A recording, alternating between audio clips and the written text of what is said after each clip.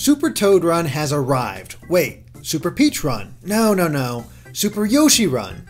Man, it's like a party in here. After all, there are five other characters that you can play as besides Mario, and we're here to help you unlock each one.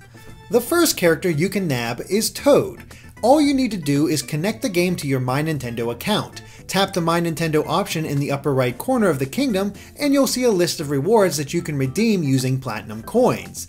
But Toad doesn't require any coins at all. He's totally free. Simply tap him to redeem the offer, then check the gift box in the kingdom to unlock him. And there you go, you can now play as the fun guy himself. For Princess Peach, you just need to play through all 24 levels in World Tour and defeat Bowser. The Royal Highness will then become playable. The remaining three characters are all unlocked by recruiting Toads to your kingdom via Toad Rally, where you challenge other players by spending Toad Rally tickets.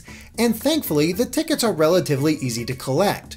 You'll get 20 just for purchasing the game, and even more for progressing through the worlds and collecting the special coins. So, to unlock Yoshi, you'll need to recruit 30 red toads and 30 yellow toads.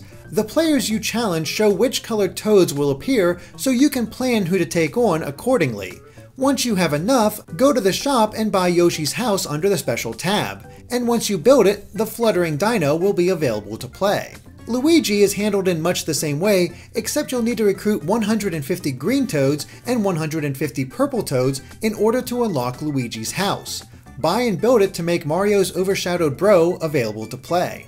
And finally, there's Toadette, who has the largest requirement of toads. In order to unlock her house, you'll need to recruit 200 of each toad color, being red, blue, green, purple, and yellow. It may take a while, but once you buy and build her house, the fun gal will then be available to play too. From that point, it all comes down to which character you prefer as each plays just a little bit differently with their various skills. Thanks for watching and be sure to subscribe to GameXplain for more on Super Mario Run and other things gaming.